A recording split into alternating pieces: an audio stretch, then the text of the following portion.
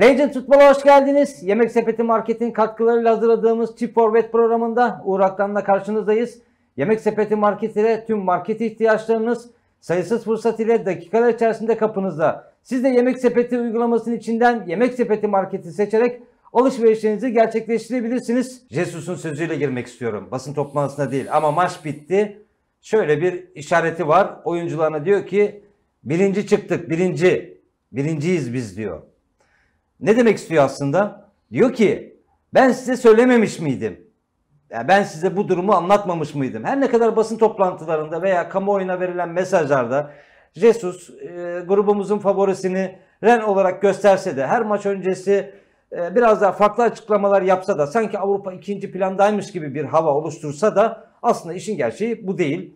E, teknik direktörler bu tarz açıklamaları biraz daha böyle rakibi yumuşatmak adına yaparlar biliyorsun.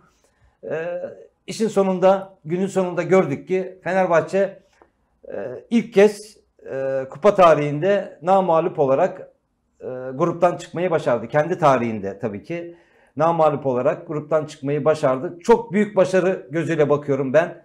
Aynı zamanda kazandığı bir maddi kazanç da var. Şöyle bir Jesus'la başlayalım. Daha sonra Arda Güler'le devam edelim. Ben en başta şunu söyleyeyim. Ben Jorge Jesus'un işte biz bu kupada ilerleyemeyiz. İşte kazanamayacağımızı biliyoruz. Şeklindeki söylemlerini böyle bir nasıl desem totem olarak değerlendiriyorum. Çünkü e, tamam Fenerbahçe belki bu kupada e, bir kere yarı final gördü. İşte Şampiyonlar Ligi'nde bir kere çeyrek final gördü. Onun dışında çok başarılı bir Avrupa serüveni Fenerbahçe tarihinde belki yok. Dolayısıyla e, işte oradan çık gelecek takımlar Juventus'u var, Barcelona'sı var, e, birçok Manchester United'ı var, var. Ma- Manchester United'ı var. Birçok başka önemli daha tecrübeli, Sporting. deneyimli takım var. Hani bu takımları görünce bizim senin, benim, başka Fenerbahçelilerin ya biz tamam hani buradan da ne- çok da gidemeyiz. ya, Çeyrek final olsa iyi. Hani çok da finali falan görecek halimiz yok dememiz belki no- normal. Biz bunu diyebiliriz tamam. Ama Jorge Jesus bu kupada iki kere final oynamış. Şimdi oraları gören bir insan, e, iki tane finali yaşamış, bir tanesini penaltılarla kaybetmiş bir insan. Ee, Pardon 16'dan sonra kaç maç yapacaksın? abi çeyrek final var. iki maç. Yarı final O- var. ona- 16'da iki maç yapacaksın. Çeyrek finalde iki maç yapacaksın. Yarı finalde iki maç yapacaksın. E, final var bir de işte 7 maç. 2, 4, 6, 7. Ya şimdi oraları yaşamış bir insanın buraya bakış açısı çok daha farklıdır. Yani 4 4 rakip. Ve oraları yaşamış bir insan gidip de şey demez. Ya tamam hani e, buraya kadar geldik bu artık bize yeter demez. Ya Jesus bu sabah uyandığında finali bir gözünün önüne getirmiştir. Ya iki kere olmadı hani üçten iyi olmasın. Hani bunu niye başarmayalım biz diye düşünmüştür. Ekibiyle beraber bunu düşünmüştür. Ekibi de düşünmüştür. O yüzden oraları yaşayan bir insanın e, hissettikleri, düşündükleri e, bizim e, şu anda çok da fazla hayal edebileceğimiz şeyler değil. O anlamda ben e, işte deneyim, tecrübe böyle bir şey. Bugün Fenerbahçe'nin başında belki oraları bilmeyen, oraları hiç görmeyen, tatmayan bir hoca olsaydı e, daha farklı şeyler Bu hissedebilirdi. hedefler konulmaz mıydı? Ya hedefler yine konulabilirdi ama bu kadar gerçekçi olur muydu bakalım yani. O zaman Şimdi sözlerini biz, ben- biz, biz sen- üç, üç kulvarda da şampiyonluk hedefliyoruz. Bunu söylemek çok kolay. Ha, ben de söyleyeyim. Üç kulvarda şampiyonluk hedefliyoruz. Çok söyledim çıktı ağzından ama ne kadar gerçekçi? Karşımdaki insan bana ne kadar inanacak? Şimdi bir e, X bir hocanın ben de hocayım. Ben gideyim söyleyeyim. Bir, Evet. Benim Fenerbahçe'nin hocası olarak gidip Mert Hakan'la biz Avrupa Ligi'ni kazanabiliriz demem var. Bir de Jorge Jesus'un orada iki kere final oynayan Jorge Jesus'un biz Avrupa Ligi'ni kazanabiliriz demesi var. O zaman onu Jorge Jesus söylerse oyuncu da bu sefer inanabilir. Ya bu adam iki kere orayı yaşamış. Üç niye olmasın? Bana inanıyorsa ben de bunu yapabilirim. Ben sözlerini e, anla- aktarayım mı? Aktar. Jesus'un diyor ki bizim hedefimiz Avrupa Ligi'ni kazanmak değil. Avrupa Ligi'ni kazanmak başka takımların hedefi. Bizden fazla kapasitesi ve ekonomisi olan takımların biz tabiri caizse köpek balıkları arasında yer edinmeye çalışıyoruz. Doğru. Geçen de Mourinho'nun bir açıklaması vardı bununla ilgili. Ee, geçen sezon konferans ligini kazandılar biliyorsun. Şimdi UEFA Avrupa Ligi'ndeler. Mourinho da dedi ki UEFA Avrupa Ligi'ni bu turdan sonra Şampiyonlar Ligi'ni kazanmak için kurulan takımlar gelecek dedi. İşte Barcelona onlardan biri. Juventus onlardan biri. Atletico Madrid onlardan biri bildiğim kadarıyla. E, kim kazandı? E, Ne zaman? Yok Avrupa Ligi'ni geçen sene. Bir saniye düşünmem lazım. Fenerbahçe- Frankfurt, Frankfurt, evet, Frankfurt evet. kazandı. Ve çık diye çıkmıyor da düşünüyorum. Hayır yok.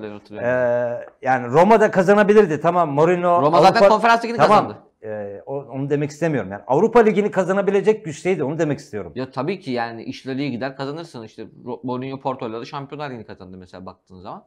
Ee, ama demek istediğim bundan sonrasında artık bu hedefi e, kovalayacak Şampiyonlar Ligi'ni kazanmak için kurulan takımlar var. Hiç kolay değil işte. Xavi çıkıyor açıklama yapıyor. UEFA Avrupa Ligi'nin favorisi biziz diyor. Adam Barcelona'nın hocası. Ne diyeceksin ki şimdi yani? Bir şey diyemezsin yani. E ama favori onlar. bir önceki hafta da açıklama yapıyor. Bunalıma girdim diyor. Yani genç hoca işte böyle gel gitleri olabiliyor. Çok hani Çok köpek balığı var derken bu köpek balıkların içerisinde hani biliyorsun e, sen o dönemde izlemişsindir Jobs'ı. Hani o kadar da küçük değilsin değil mi? Jobs serilerini hatırlarsın mesela. İzlemedim. Efendim? İzlemedim. İzlemedin mi? Ha, buyur yani. E, bir efsaneydi ya. Nasıl izlemezsin? Biliyorum cevap ama. Ha, biliyorsun ama. E, Yani çok Jobs var o arada. Böyle baktığında grup liderliğinin önemi daha çok ortaya çıkmıyor mu? Bir kırılma yaşanacak çünkü 32 Ya tabii turunda. ki çıkıyor ama e, 32 turunda kaçtığın takımdan 16 turunda eşleşebilirsin veya işte çeyrek finalde eşleşebilirsin. Bir noktada onlarla eşleşeceksin. Bence burada esas önemli olan lider çıkmanın, Ren'in önünde tamamlamanın, e, takıma katacağı özgüven ve e, bunun yanında Fenerbahçe Mart ayına kadar Avrupa maçı oynamayacak. Mart ayına kadar tamamen lige odaklanabilecek. Bu da çok önemli. Yani ayak bağı olacak bir Avrupa serüveni olmayacak orada Mart ayına kadar. E, şu anda artık e, çok yoğun bir maç trafiği vardı Fenerbahçe'nin. O bir tık azalacak. Dünya Kupası'ndan sonra nefes alabilecek takım. E, zaten hoca da söyledi yani şu anda dedi oyuncularımız sınırdaydı dedi yani maç yoğunluğu açısından birazcık nefes almamız açısından çok önemli olacak dedi. E, bunun yanında tabii bir de yani uzun zamandır Fenerbahçe Avrupa'da bu kadar başarılı bir dönem geçirmiyordu. Zaten yenilmeme rekorunu da kırmış kulüp tarihinin Zico'dan sonra. E, o taraftarın yeniden o Avrupa'ya bakması işte Avrupa'daki e, futbol dünyasında Fenerbahçe'nin adının yeniden duyulması. Mesela insanlar diyor ki işte Manchester United'da oynamayalım falan. Ya oynayalım abi. Fenerbahçe yıllardır öyle çok büyük birinci sınıf bir takımla üst seviye maç yapmadı. Manchester United gelsin, Juventus gelsin. Yeniden Avrupa'da böyle Fenerbahçe'nin ismi yeniden bilinsin yani. Yeniden manşetlerde işte markada orada burada Fenerbahçe adı anılsın. İnsanlar duysun bunu yani. Marka değerine de bir şey katar. Fenerbahçe çıksa Juventus'ta iki tane kafa kafaya maç yapsa. Fenerbahçe çıksa Manchester United'da iki tane maç yapsa. Ronaldo'yu üstse. e, çok değerli, çok kıymetli bir şey yani. E, Jorge Jesus'u tebrik etmek lazım. Yeniden Fenerbahçe'yi e, yüzünü Avrupa'ya çevirdiği için. E, bunu da yapmak için gerçekten oraları bilen, yaşayan bir hoca olmak gerekiyordu. Jesus da bunu bilmiş, yaşamış büyük bir hoca. E, Blöf yapmıyorum diyor gidiyor. zaten. Hani biraz daha olaya gerçekçi bakıyor ama bir taraftan da oyuncularını motive etmekte e, ve soyunma odası konuşmalarında e, bu konuşmaların maça yansımalarında maç sonu biraz daha biliyorsun ekibiyle yan yana geldiğinde veya futbolcularla yan yana geldiğinde duyguları daha farklı olur insanların. E, sen de bu işin içindesin. E, hani kamuoyu mesajları biraz daha farklıdır. Gerçekçi davranmak lazım. Evet biz de kabul ediyoruz. Yani önümüze çok büyük bir hedef koyup da o hedefe e, ulaşamadığımı, çok büyük bir hayal kırıklığının belki de oluşmasını istemiyor. E, Zaten takımı abi şu anda adına- Jesus çıkıp Fenerbahçe Avrupa Ligi'nin favorisi dese ne kadar gerçekçi olur bu? Gerçekçi de olmaz ki. Orada yani 600-700 milyon euroluk takımlar var. Bence yaptığı açıklama son derece normal, doğru bir açıklama. Favori değiliz ama yapabileceğimiz, gidebildiğimiz yere kadar gitmek istiyoruz.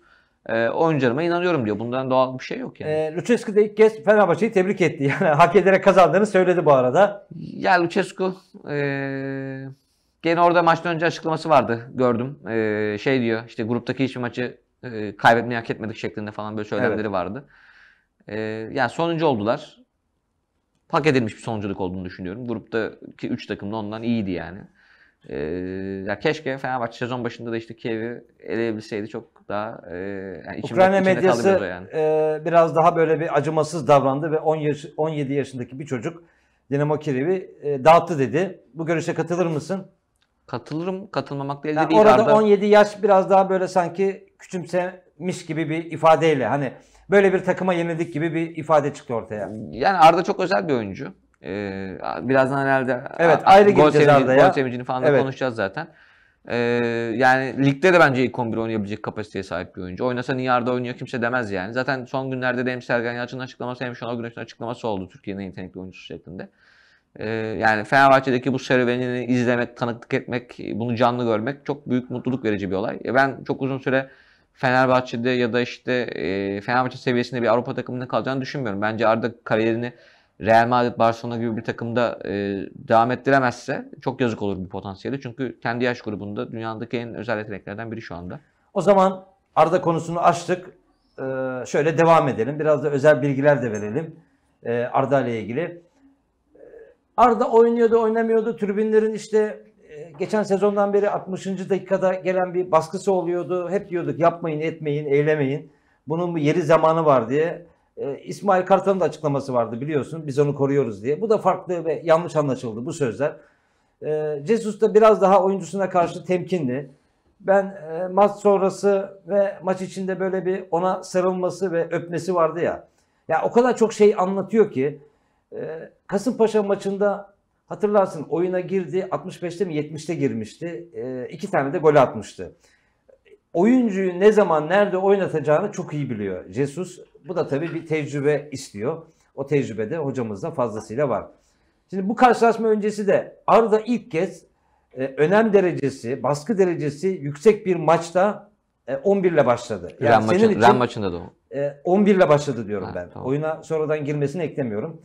E, bu tip maçlarda oynayarak kendini ileride geliştirebilecek bir oyuncu. Arda'nın bir öncesine gidelim istiyorsan. Kulübe nasıl geldi Arda? Yönetmenimizden de rica edelim. Ee, Serhat Pekmezci e, kendisini Fenerbahçe'ye getiren, e, Komolli'ye bizzat rapor veren fakat e, Komolli'den olumsuz raporu geldiğinde e, Başkan Ali Koç'u ikna etmek için işte CD'ler hazırlayan yani neredeyse Arda Güler'i zorla Fenerbahçe'ye aldıran bir isim. Öncelikle Serhat Pekmezci'nin e, emeklerini söylemeden, konuşmadan olmaz. Kendisine teşekkür edelim. E, Arda'yı Fenerbahçe'ye kazandırdığı için yani ısrar etti oyuncuda. Bugünlere gelmesinde büyük emeği ve çabası var. Öncelikle bir buradan başlayalım. E, genel performansına geçelim.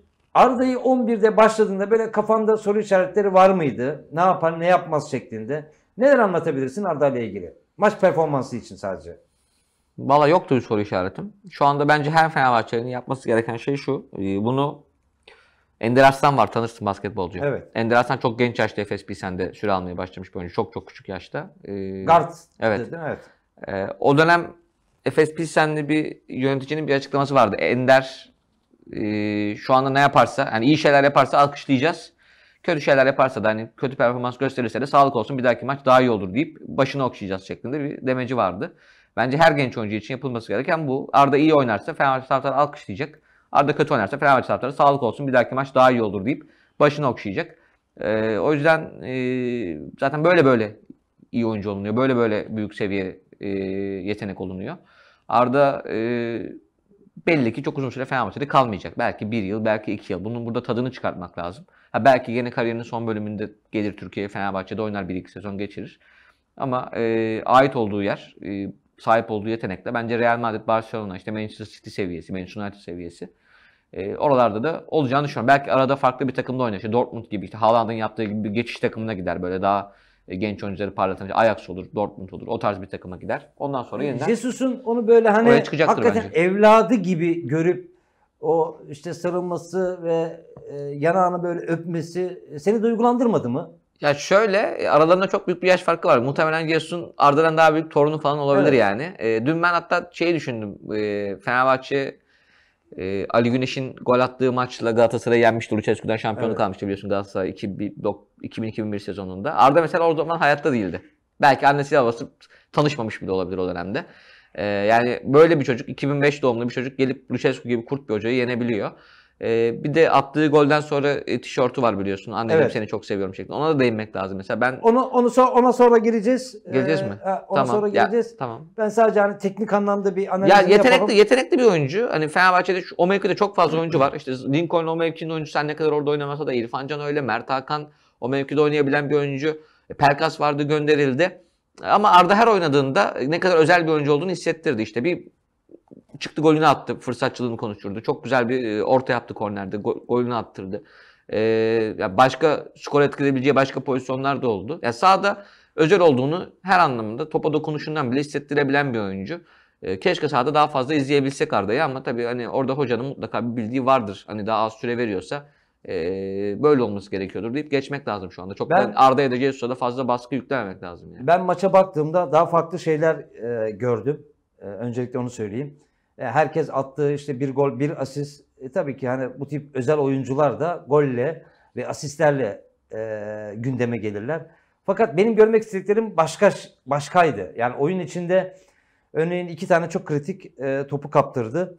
Tam da atağa çıkarken ama hemen akabinde hatasını telafi etti. Hatta bir tanesinde de neredeyse asist yaptıracak bir uzun topu vardı. E, çok kritik 3 tane kanat topu değiştirmesi oldu. Tek böyle tık. Ee, bu tip pasları Fenerbahçe'de en iyi yapan, milli takımda da bence Türkiye'de de en iyi yapan oyuncu Emre Belezoğlu'dur. Ters kanat toplarını atan. Ve teknik adamlar için çok değerlidir bu tip toplar. Evet. Ee, onu ifade edip. Hatta Fenerbahçe'deki birçok teknik adam bunun uzun süre Emre'den sonra eksikliğini hissetmişti. Benim görmek istediklerim bunlardı. Yani Arda bu tip topları nasıl atıyor? Arda kaptırdığı toplarda nasıl reaksiyon veriyor? Topları nasıl çalıyor? Fizik gücü çok önemli. Bak e, Messi'ye kaç tane darbe geliyor? Messi ayakta kalıyor. Arda'nın bundan böyle fiziki anlamda daha da güçlenmesi gerekiyor. Çünkü futbol hayatı boyunca hep sertlikle karşılaşacak. Arda'yı o kadar e, yetenekli ki Arda'yı başka türlü durduramazsın. Yani Arda'ya foul veya aşırı foul yapman lazım. Belli yerlerde yani rakip için söylüyorum yani. Arda'yı böyle durdurabilirsin. Veya böyle durduracaklar önümüzdeki sezonlarda. O yüzden fizik kapasiten ne kadar sağlam ve güçlü olursa maç içindeki dayanıklılığın da o kadar iyi olur. Yani Arda bir gol bir asist. Bu normal. Arda zaten bunları yapacak. Ama diğer yönlerini geliştirmesi gerekiyordu ve onları geliştiriyor. Yani görebiliyoruz. Ee, yani biraz da böyle bakmak lazım Arda'ya. Yani sadece gole attı. Ya oyun içinde sadece golle mi varsındır mesela? Ya. Forvet olsan okey. Ama Arda gibi oyuncuların sadece bir pozisyon, pozisyonla konuşulmaması lazım. Yani bir takım oyuncusu olması lazım. Doğru. Ee, takıma ayak uydurması lazım. Yeri geldiğinde defansif koşuları yapması lazım. Yeri geldiğinde çok iyi topları çalması lazım. Bunları da yapıyor. Yani mesela attığı golde de e, zamanlaması ve orada oluşu tesadüf değil. Bir tesadüf olmayan bir durum var. İkinci gol. Mesela ikinci golde ne gördün? Hiç dikkatini çeken bir şey var mı? Ne oldu? Yok. Golden Ne önce, kornerden önce itip kakışma vardı. Tamam. Futbolun içinde sertlik her zaman var. Yani futbolun içindeki sertlikten bahsediyorum. Rakip sana ne yapar? Geri geldiğinde çirkeflik yapar. İlk Şampiyonlar Ligi eleme grubundaki maçları hatırlıyorum. Dinamo Kiev nasıl başladı maça? Sert. Sertlikle değil mi? Evet. Yine maçın başında sertlikle bizi yıldırmaya çalıştılar mı? Evet. Ee, korner pozisyonundan önce dikkat et. Batshuayi rakip bir didişiyor değil mi? Çek elini dedi. Sonra Serdar Aziz tak dedenine vurdu. Hani yavaş gel gibilerinden. Tamam. Hayt eder gibi yani. Tamam. Yani ezilmezsin. Eğer yani rakiple bu birebir ve koru koru yapmazsan o e, ceza sahası içindeki savaşta Aroa çıkıp da o kafayı o kadar rahat yani bak geriden geldi pozisyonu dikkatli izle. E, sertliğe aynı sertlikle cevap vermen lazım. Yani bak benim bunlar hoşuma gidiyor. Anlatabiliyor muyum ne demek istedim? Bak ya kimse mesela işte herkes Arda'nın asistini konuşuyor. Evet yani güzel vurdu fakat bunun öncesi de var. Yani takım e, her türlü senaryoya hazırlıklı. Ben Ge- bunu görmek istiyorum. Yani. Geçen gün bunu maçtan önce kendi takımıma da söyledim. Yenildik gerçi de yine de olsun. Burada da söyleyeyim. Galip geldiğinde bir gün seni e, misafir edelim ya. Uğur. Gol Ee, attığında veya evet iyi, iyi sallıyorum abi. Tutamıyorum Ee, kendimi abi ne yapayım? Evet. Ee, şimdi Mourinho Tottenham'ın başına geçiyor. Belgeselde görmüştüm. Belki programda da daha önce anlatmış olabilirim. Bilmiyorum anlattım mı anlatmadım mı. Ee, soyunma odasında oyuncularına şey diyor. Hepiniz diyor pırıl pırıl çocuklarsınız diyor. Hepiniz diyor çok iyi insanlarsınız diyor. Bunu görebiliyorum diyor. Ha bir de konuya öyle başladın ki biliyorsun hafta içinden beri İnegöl Spor muydu? Hocasının bir Ha. motivasyon konuşması İnce vardı. Spor mu? Ee, sana Aynen. da Bana da atmıştım. atmıştın, Ya. Ben- adamlar yaşlı beyler diyor ya. Aynen. Bir de onun sıcaklarla ilgili bir şey vardı. Konuşması, motivasyon konuşması vardı. Bilmiyorum, Benim kaçırdım. olayım motivasyon konuşması değil. Sen benim ne demek Yok istediğimi ben hayır şuraya geleceğim. Pardon konuyu dağıtmayayım Evet, ben. Kusura bakma. Ben de, Ha, ben de atmış Ben oldum. Evet. Söz sende. Ee, Mourinho Tottenham'da soyunma odasında oyuncularını çekiyor diyor ki hepiniz diyor çok pırıl pırıl çocuklarsınız diyor. Ama bu şekilde sizi yüzerler diyor. Sahada birazcık çirkef olmanız lazım. Kendinizi ezdirmemeniz lazım. Yapabiliyorsanız rakibi çirkeflikle yıldırmanız, ezdirmeniz lazım şeklinde bir söylemi var.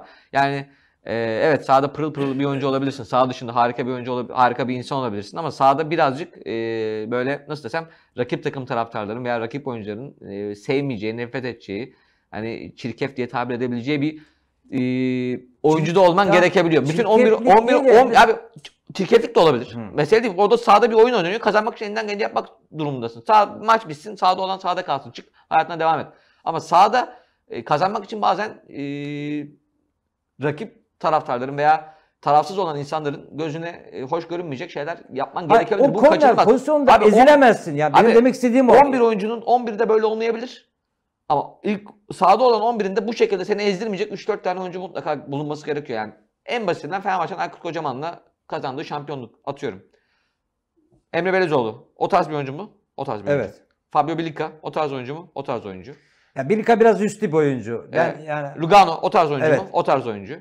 Ee, Serdar Aziz o tarz oyuncu mu? o tarz oyuncu evet. Bak e, mesela maç içinde Popov'la çok itti kalktı bir şeyler oldu. Ve işte Yani bak sen Popov için çirkef dersin değil mi? Ama maçın son bölümünde bir bakıyorsun böyle Fenerbahçeli futbolcuları böyle yerden düşeni yerden kaldırıyor falan işte. Bak şey farklı. Abi yani şey- maç içindeki sertlik Tamam, de doğru. bundan normal ama senin bununla mücadele etmen lazım. Son Sen şampiyon- ilk son- maçta böyle ezildin. son şampiyonluğa gel. Egemen Korkmaz o tarz oyuncu. Evet. Emre Belezoğlu o tarz oyuncu. Bruno Alves o tarz oyuncu. Volkan Demirel o tarz oyuncu.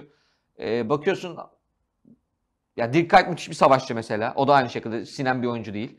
Ee, yani Fenerbahçe hani o anlamda e, birazcık yani mental anlamda da elin- elindeki oyuncuları birazcık e, kıymetini bilmeli. Mesela Serdar Aziz belki teknik anlamda hani birçok insanın belki çok beğenmeyeceği bir oyuncu olabilir. Ama karakter anlamında sahada takıma çok şey katan bir oyuncu. Yüreğini, yüreğiyle oynuyor. Mert Hakan Yandaş yine aynı şekilde mesela. Ee, Oynarsa yani göreceğiz sakatlıktan.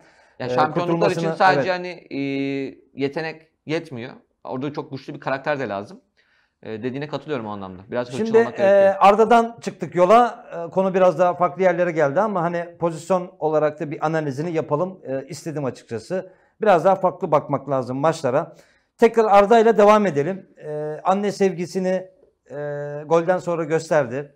E, Annesi biliyorsun bir operasyon geçirmişti. Yine aynı e, Arda gibi Messi de bu sevgiyi gösteren e, yıldızların arasındaydı. Hatta yıllar önce çekilen bir fotoğraf var. Yönetmenimizden de rica edelim Ozan kardeşimizden o fotoğrafı bizlere göstersin. Hem Fenerbahçelilerin hem de futbol severlerin bence Arda'nın bu gol sevincindeki tişörtünden edinmesi gereken ders şu. E, futbol her ne kadar e, son dönemde çok fazla mekanikleşse de e, içinde duyguları barındıran bir oyun. Ve bunu oynayan insanlar da insan. Bunu hiçbir zaman unutmamak gerekiyor.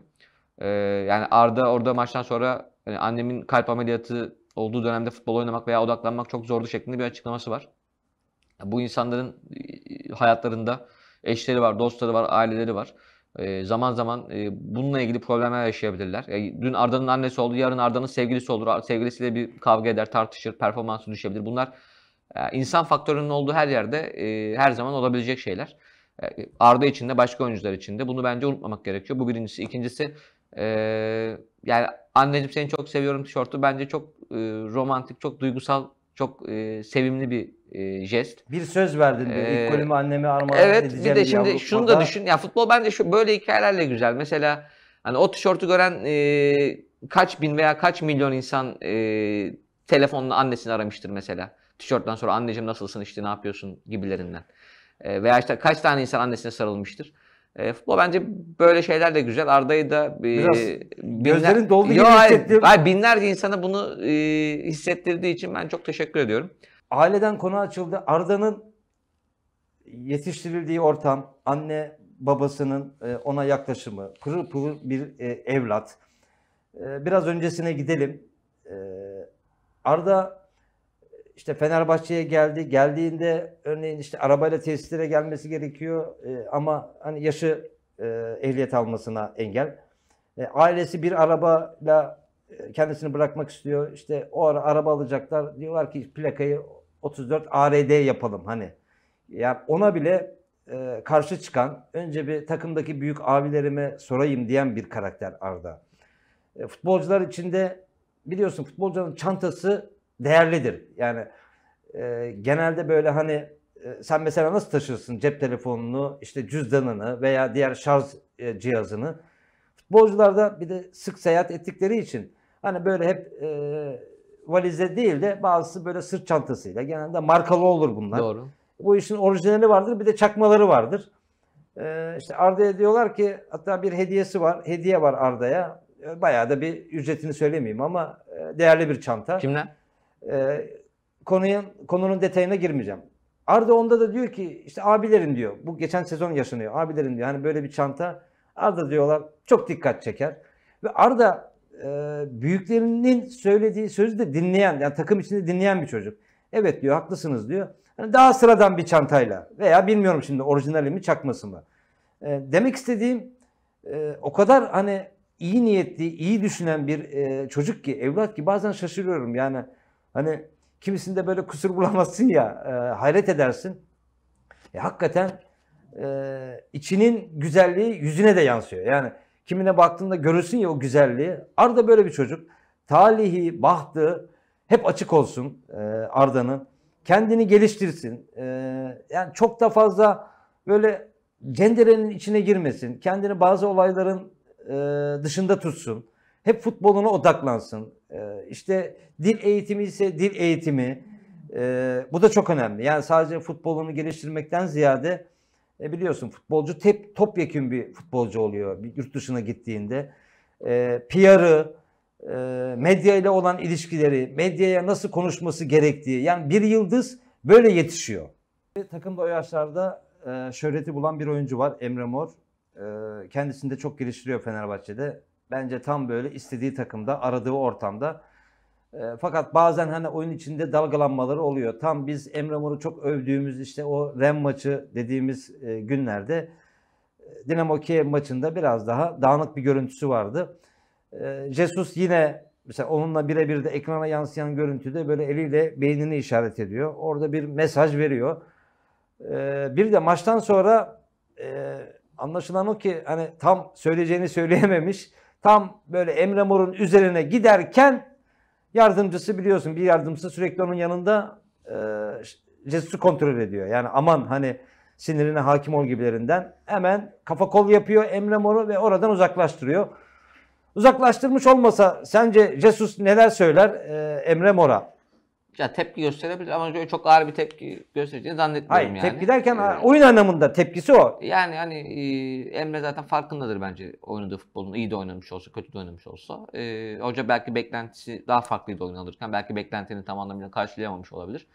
Ama e, Emre Mor'un son dönemde hani kimsenin istemediği bir oyuncuyken Karagümrük'te yeniden parlayıp Fenerbahçe'de yeniden şampiyonluk adayı bir takımın önemli bir parçası olmayı başarması bence dibe vurmuş bir hikayenin. E, yeniden yükselmesi anlamında son derece önemli. E, Bir cümle kurayım mı? Tezahür etmesi. Çok mi? zorlanır bu cümleyi. öyle- öyle? Öyle Yok oluyor? tezahür etmesi gibi bir cümle O başka bir çıkıyor ortaya. başka Ha, bir anlamda Başka bir anlamda Ya, aynen. çıkıyor evet. Ee, yani bence ligin en özel yeteneklerinden biri Emre Mor. Ee, Nasıl ki Arda Güler için çok büyük bir yetenek diyorsak Emre Mor da öyle. Çok çok özel bir yeteneğe sahip bir oyuncu. Yani o kadar kısa sürede o kadar çabuk hızlanabilen, o kadar çevik bir oyuncu Avrupa'da çok fazla yok. Zaten her zaman söylüyoruz yani Dortmund'un potansiyeline henüz 18-19 yaşındayken çok büyük yatırım yaptığı bir oyuncudan bahsediyoruz. Ee, ya Fenerbahçe için bir değer Emre Mor. Nasıl ki Kim Min-jae geçmişte önemli bir bonservis kazandırdı. Elif Elmas geçmişte önemli bir bonservis kazandırdı. Ee, önümüzdeki sezonların önemli bonservis kazandıracak değerlerinden biri de Emre Mor olabilir. Çünkü yani Emre Mor buradan 20-25 milyona gitse mesela bir Avrupa takımına Fenerbahçe için bu müthiş bir para. Ama 20-25 milyon açık konuşmak gerekirse bir İngiliz takımı için çerez parası gibi bir şey. Ee, yani Emre'nin potansiyeline öyle bir yatırım yapılabilir Fenerbahçe'de iyi bir dönem geçirirse. Şu anda da fena sezon geçirmiyor yani. Ee, bence çok doğru, çok akıllıca bir transfer Birkaç oldu. kısa kısa süremiz ilerledi. Kısa kısa sorularım olacak. Ee, Tabii. Bu sezon Avrupa e, defterinde Türkiye 20. sıradaydı. Evet. Defteri bir açtık 12. sıraya yükseldik. Her teknik adam tabii Avrupa'ya farklı bakıyor. Ama e, Rıza Hoca pazartesi günkü maçı düşünerek hani maç öncesi yaptığı açıklamada Avrupa maçını değil Fenerbahçe maçını önemsediklerini söyledi. Bu bakış açısı için neler söylersin? Ya şimdi maçtan sonra gördüm. Ha bir de maç sonrası açıklaması var biliyorsun. Hani Fenerbahçe'nin, Başakşehir'in, e, Trabzon'un yaptığı normal sayılabilir ama Niye normal sayılıyor abi? Niye- biraz ne- bütçelerden Niye normal? Ne, ne, ne bütçelerden alakası var? işte Sivas'ın bir Anadolu kulübü Ya bırak olmasından abi Rıza Çalınma yapma abi öyle olmaz o iş yani. O zaman sen de Beşiktaş'ı çalıştırdın burada. Madem öyle Beşiktaş'ın bütçesi şampiyonluk için yeterli bir bütçe. Şampiyon yapsaydı madem öyle Beşiktaş'ı. Yani insanların başarısı niye küçümseniyor abi? Jorge Jesus Fenerbahçe'ye abi bir kere Ren'in Hayır, bütçe- Fenerbahçe bir kere bir dakika onu, onu geç abi. Hayır, Ren'in- hayır, hayır, hayır. Fenerbahçe üzerinde mi söylüyor? Hayır, Kendi kimin- başarısının hayır, daha büyük zaten- olduğunu hayır, anlatmak için mi söylüyor? Sen kimseye, kimsenin başarısını öyle küçümseyemezsin bir kere. Onu geçeceksin. Bir kere Ren'in bütçesi Fenerbahçe'den fazla değil mi?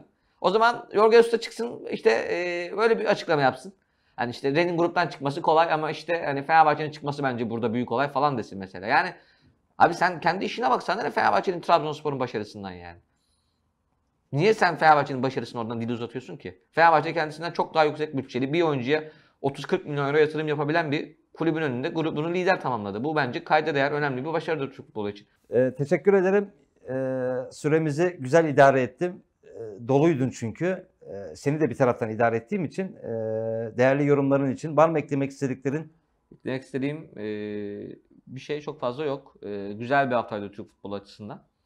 E, umarım bu şekilde devam eder. Son 16 turunda e, hem Fenerbahçe kaldı hem Başakşehir kaldı hem Sivas kaldı. E, Trabzon'da rakibin nelerse özellikle konferans ligindeki 16 takımın 3 tanesi Türk takımı olacak. E, Emre Belezoğlu'nun takımı özellikle Başakşehir oynadığı oyununa çok güçlü bir takım imajı veriyor. Kupanın bence favorilerinden biri. E, keşke olsa. E, Fenerbahçe'de bence hani e, umarım güçlü bir takımla eşleşir ve heyecan verici maçlar oynatarak yeniden e, o taraftarın uzun yıllardır hissetmediği Avrupa heyecanını daha da doruklarda yaşatır. E, umarım güzel bir hafta, önümüzdeki hafta e, bizi bekler ve burada yeniden birlikte oluruz. Umarım yayınımızın başında sponsorumuz Yemek Sepeti Market'i konuşmuştuk. Hatırlatmakta tekrar fayda var. Yemek Sepeti Market ile tüm market ihtiyaçlarınız sayısız fırsat ile dakikalar içerisinde kapınızda. Siz de Yemek Sepeti uygulamasının içinden Yemek Sepeti Market'i seçerek alışverişinizi gerçekleştirebilirsiniz. Bu arada kanalımıza abone olup videolarımızı beğenip yorum yapmayı unutmayın diyoruz. Haftaya bir başka Çift Forvet programında görüşmek üzere. Hoşçakalın. Hoşçakalın.